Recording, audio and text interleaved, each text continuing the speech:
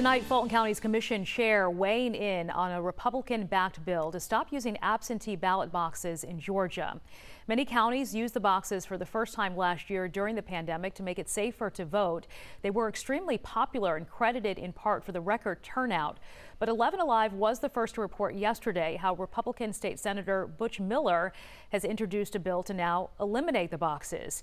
He argues the move would rebuild trust lost during those elections.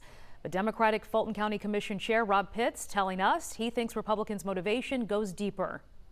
I always say the people were so enamored with those drop boxes, it was like bees and honey, so to speak. And it's all about the 2022 election, but more important, it's about the 2024 election. They're going to keep up as much nonsense and foolishness as they can to try to distract people, discourage people, and really uh, turn people off about voting, thinking that their vote will not count.